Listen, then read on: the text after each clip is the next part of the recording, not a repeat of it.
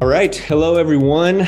Um, very excited to keep announcing new users to the Helium ecosystem. Um, we have a lot of people building out awesome solutions that are enabled by the network. So today I'm here with Manos from WeatherXM. He's going to talk a little bit about, um, well, allowing people to earn by sharing their weather data and a little bit more than that, I'm sure, Manos. But you want to give us a quick intro of yourself and then just what WeatherXM does, high level overview?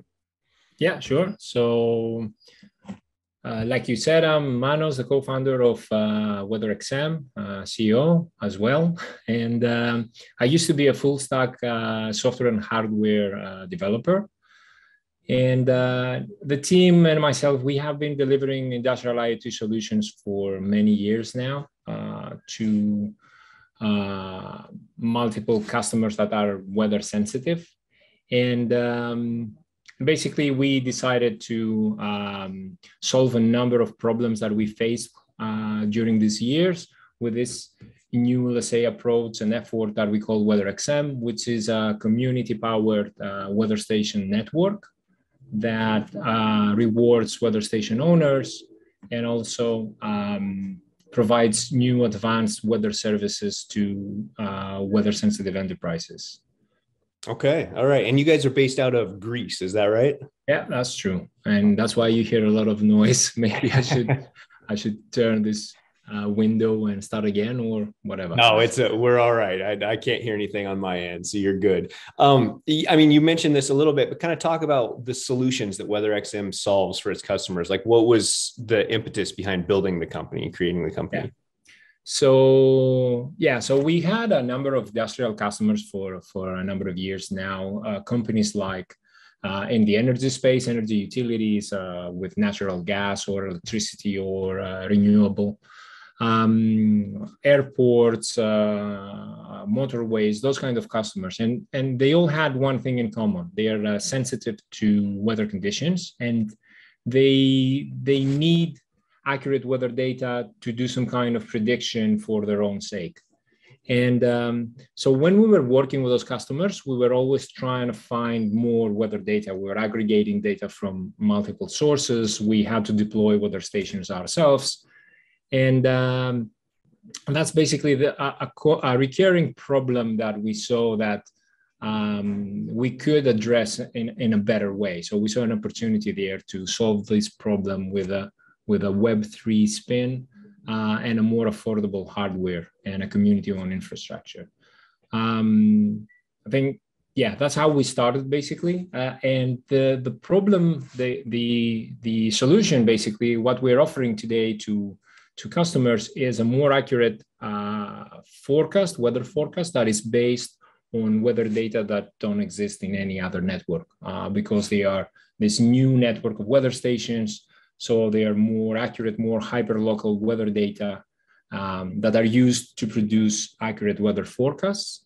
And that's one aspect of what we're doing. The other aspect is we, because of the special hardware that we use, we can provide this data on chain for Web3 um, services or future products.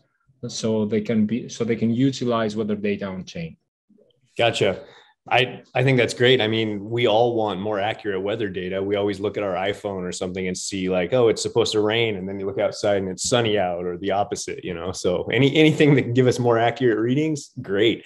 Um, so you guys use weather stations. Um, I see that term, and I've actually had people um, internally at Helium kind of ask about what is a weather station? Like, what what are these things? You have one to show everybody here? Yeah, actually, yeah. So so this is our um, this is the weather station that we use uh, for the last couple of months. Um, we have produced uh, a thousand of those, and they are being deployed worldwide. So so a weather station it used to be bulky and expensive, and mm. and it required a lot of manual uh, human uh, interaction. But today, weather stations are just devices like this one that they have become affordable and shrink in size because of the development in the technology, sensors, IoT, and so on. Yeah. So it's a it's a device basically that measures atmospheric conditions such as temperature, humidity, pressure, solar radiation, uh, wind, and rain.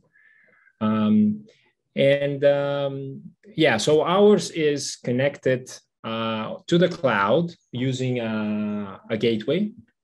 So we have this M5 special hardware that uh, is used in the middle basically. So the station connects to this and this connects to your home Wi-Fi and it's powered by USB and, and sends data. Okay. But the new version uh, that we are planning to launch uh, soon, this is the Helium version. And this one is easier and more simple than the previous one uh, in the sense that does not require a special gateway because it connects directly to the Helium network. So it's truly energy autonomous and uh, communication autonomous. Um, it has a solar panel, so and, and two AA batteries. So basically, it works on its own out there as long as there is uh, helium coverage. Gotcha. Oh, that's awesome. That's awesome. Those are much smaller than I would have thought. So that's that's nice. I think of a weather station as like some huge, you know, bulky machine or something. Um, so talking about that one you just showed that connects to helium, how did you guys like end up working with helium? Like what made you choose the helium network? So I think there is a natural fit uh, when it comes to culture and, and uh, common values between WeatherXM and, and the Helium network. We both have a goal of decentralizing things and distributing uh, value back to the community as fair as possible. And um, and I think we both both communities have the vision of of operating a large uh, global infrastructure. And uh, but there's a technical side as well. Uh, so like I mentioned before, the Wi-Fi version requires this gateway in the middle. The yeah. LoRaWAN version connects to uh, to the Helium network, so it's it's easier to deploy and doesn't. You don't even need to set up any uh, Wi-Fi credentials. Um, so uh, that's one aspect. The other is that the Helium network provides a very low cost uh, network infrastructure for this uh, weather data that are continuously sent over uh, to the cloud. And, um, and also Helium allows us to deploy stations in areas that we otherwise wouldn't be possible to be deployed because um, you know the Wi-Fi restriction is one, but then uh, a cellular version of the weather station also is restricted to the cellular coverage. So Helium has this advantage that it can expand uh, the network to directions that don't even have any cellular coverage. Yeah. All right. Um, so I know you said you have about how many devices deployed so far? Right? So so far we've shipped a thousand units. Um, they are being deployed as we speak. So uh, so there is a very active network of weather stations in our Explorer that they uh, that new stations pop up every day. Um, we have uh, we have already, uh, well, around 4,000 people from our community have already purchased a weather station and they're waiting for it. So we're in the process of manufacturing uh, more. Mm-hmm.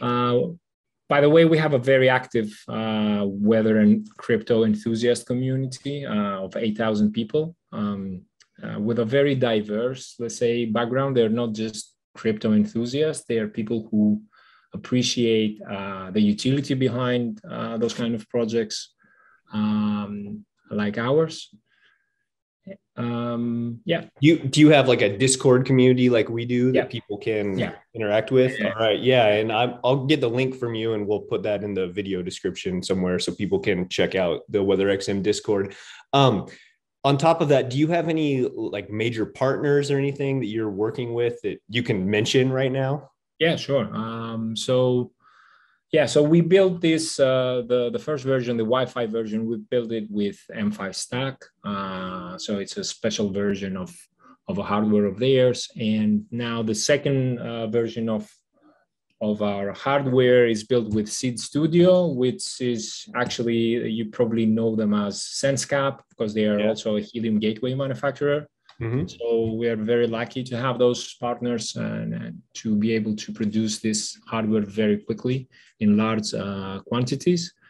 Um, we have an awesome network of investors uh, that they complement each other on a number of different things, and altogether they bring a lot of experience in in uh, the various aspects of our project because you know it has a lot of elements crypto weather industrial um, uh, iot hardware software. So you know it's it's quite a it's quite a complicated project.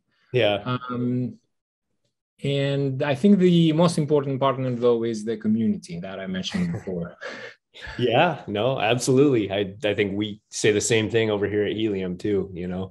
Um well, Manos, you I know you're going to come on the uplink in a couple weeks, July 14th, and you know dive a little bit deeper into you know some demos, use cases, things like that. Is there anything you want to kind of tease for people? What the, can they expect a little bit? You know, get them on the edge of their seat. Yeah, well, so hopefully by then we will have uh, published a little bit more on our tokenomics so we can uh, dive into that. We're going to discuss about tokenomics, but we can also look at the weather oracle aspect of the project, which is also another exciting, let's say, uh, opportunity and possibility there. Okay. All right. Well, um, we'll get registration up for that so people can get excited and show up and listen, li- hear a little bit more about WeatherXM from you. But I just want to thank you for being on here today. And we're super excited to have WeatherXM as part of the Helium ecosystem. So thank you, Manos. Appreciate it. Thank you. Thank you as well.